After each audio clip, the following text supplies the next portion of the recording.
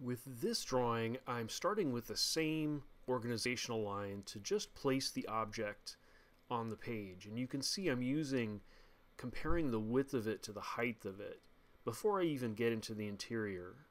And now I'm feeling my way around the object, the edges with contour lines, using the, that overhand pencil grip that allows me to fluctuate the intensity of the lines.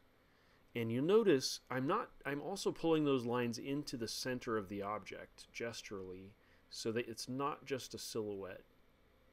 Now that will help you interpret the form and and look at those outside lines and use those to interpret the interior shapes and forms. And you can see I'm starting to um, finish the the outside perimeter and making just small corrections.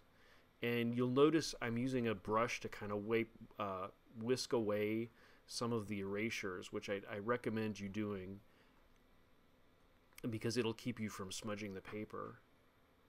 Now I'm feeling my way around those forms using the outside lines as a guide. And you can do it very sharply. I'm using a, a lighter pencil and fluctuating the line weight to, to uh, describe the object in order to give it a feel of, of kind of fullness and volume.